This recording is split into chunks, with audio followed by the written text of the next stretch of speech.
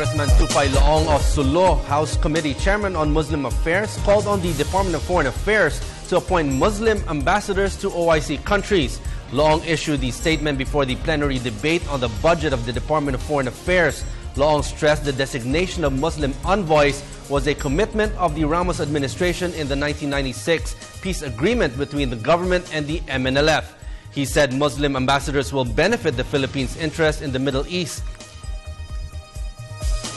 I raised that this uh, concern because I believe this is one of the understanding or agreement between our government and the Moro rebel as one of the peace package for the Muslim in this part of the country to be given the chance to participate in all basic organ. But the Honorable Secretary told me, told this representation that the policy of the department is not to accommodate political appointee. Only career people from the Department of uh, Foreign Affairs is allowed to be appointed as ambassador to any country in this part of the world.